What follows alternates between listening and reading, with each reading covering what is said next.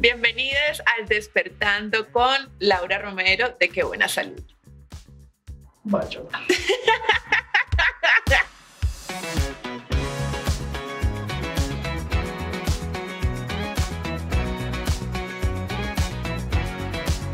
Mi mañana perfecta se ve como un instante sagrado en el que no cojo mi celular, porque hay una cosa muy importante, cuando tú coges tu celular, le estás dando el permiso a tu celular para que te diga qué es lo que tienes que hacer, cuáles son los mensajes que tienes que contestar, porque seguro tu WhatsApp ya hay un montón de mensajes o mensajes directos en Instagram o correos por contestar, entonces instante sagrado sin celular y es el momento en que cojo mi cuaderno o mi journal y empiezo a escribir, digamos que yo soy un espíritu muy libre, entonces yo no tengo una rutina que se repita todos los días de mi vida, pero digamos que sí tengo algunas que voy cambiando. Entonces, una, por ejemplo, escribo como las tres metas del día. Siempre escribo máximo tres, o sea, yo nunca escribo como siete metas u ocho metas porque no me gusta abrumarme. Incluye una meta personal, una, o sea, una meta como de placer, de tiempo para mí, una meta de trabajo y una meta que surja en el momento. ¿Listo? El otro ritual que hago puede ser escribir, entonces 10 cosas de gratitud si de pronto mi mente está demasiado agitada, hago escritura libre, entonces las famosas morning pages en las que lo escribo todo para hacer como una descarga mental. Y entonces cuando he hecho esas cosas, es una forma en la que me he dado tiempo a mí y cuando me doy tiempo a mí, pues le puedo dar tiempo al mundo.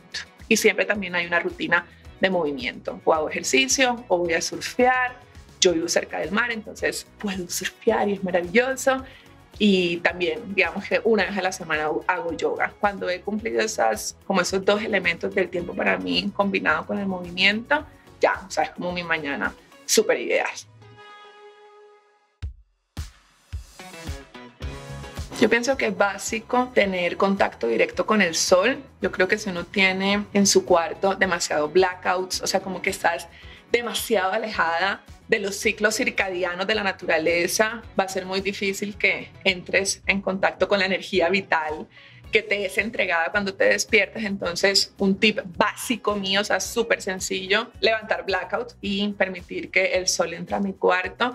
También tengo un balcón, entonces permito que tomo, tomarme un baño de sol. Los baños de sol son una cosa que uno ve como, ay, cualquier cosa, los baños de sol son la cosa más poderosa del mundo y si lo haces con intención, es una cosa que te puede cambiar el día, cerrar los ojos, tomar el baño de sol y decirle al sol como, o sea, te doy el permiso y te pido el favor de que me entregues toda la energía vital, o sea, el sol es lo más vital y poderoso y luminoso que hay, entonces es como activa todas las células de mi cuerpo para llenarlas de energía vital y poder levantarme y entregarle mi versión, mi mejor versión al mundo.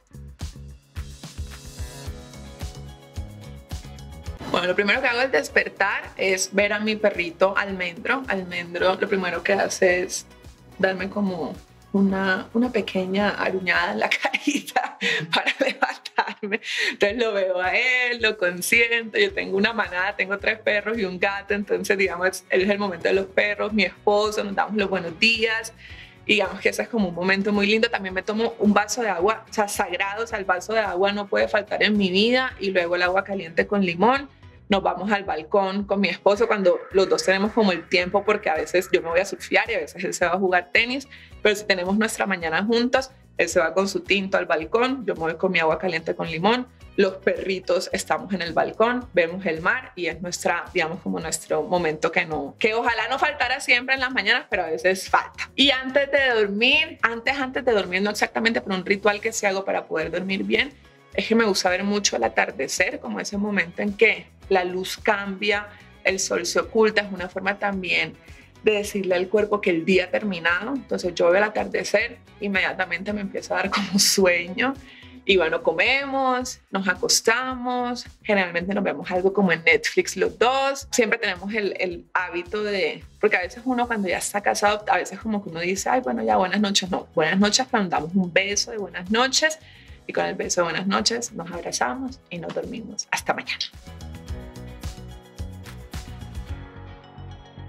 En cama me puedo quedar como 10 minutos. Entonces no soy muy de quedarme en la cama, pues a menos que esté muy cansada, que yo sí me permito el descanso, pero pues son 10 minutos, eh, me paro y me pongo o la ropa de ejercicio o me pongo el vestido de baño si voy a surfear. Y ese, ese también es otro gran tip para activarse, o sea, como que de una salir a ponerse la ropa con la que uno, o si te vas a salir a trabajar, pues te bañas, pero como que darle el mensaje al cuerpo de listo, eso es lo que vamos a hacer. Los organizo más bien en la noche, o sea, como en la noche a veces, la noche anterior, antes de dormir, mi mente puede estar muy inquieta porque, ay, mañana es un día súper pesado o, o esta semana que me hacen falta tantas cosas para poder dormir bien, hago descarga mental. Entonces escribo todo lo que tengo que hacer y ya sí le doy como permiso a la mente de que se relaje, de que puede descansar, de que no tiene que estar pendiente de nada porque ya está escrito. Y al siguiente día lo que hago es que veo esos pendientes y ese es un tip súper bueno y es como que siento cuál es el que más quiero hacer. Obviamente que si hay uno que es súper urgente, pues toca hacer ese. Pero si no hay ninguno como tan urgente, siento el que más disfruto hacer, como que ese es el que me parece más chévere y empiezo por ahí. Tip para mañanas con ansiedad, escribir, o sea, hacer descarga mental. Nos ponemos ansiosas o ansiosos es porque la mente, en la mente hay demasiado ruido. Hay una frase muy linda que alguna vez recibí y es, hay tanto ruido que no te escuchas. Entonces, para poder bajarle el volumen a ese ruido, hay que hacer una descarga, hay que sacar eso de la cabeza y ponerlo en otro lugar. Entonces, cuando hay ansiedad, escribe, escribe, escribe, escribe, escribe. Y si aún así hay como, como retazos de esa ansiedad, para mí el baile es como la mejor medicina, que es que, por ejemplo, si mi mente está muy ansiosa, pongo música de tambores, danza africana, entonces eso es como que darlo todo ahí y cuando uno está tan en el cuerpo, deja de estar tanto tiempo en la mente. Entonces, esa es una, una digamos que esas dos, escritura, danza africana o danza con movimientos para que hagas tu descarga también física.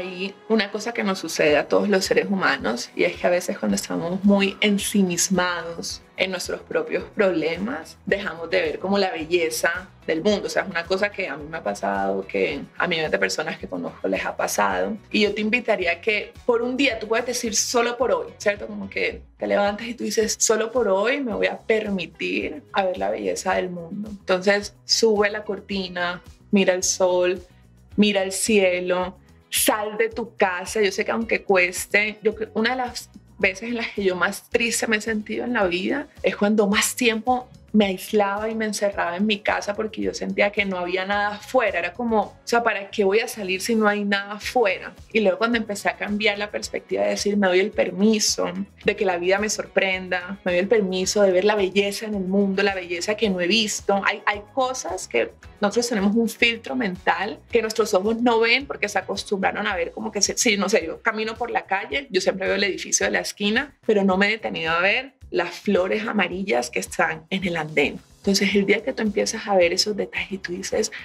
wow, o sea, donde yo camino siempre hay flores amarillas y nunca me había detenido a ver su belleza.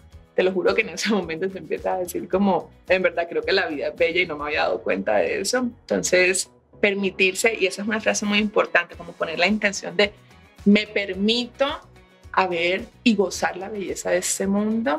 Y para eso, si necesitas poner un poquito de tu parte y salir para que la vida también te pueda entregar de vuelta.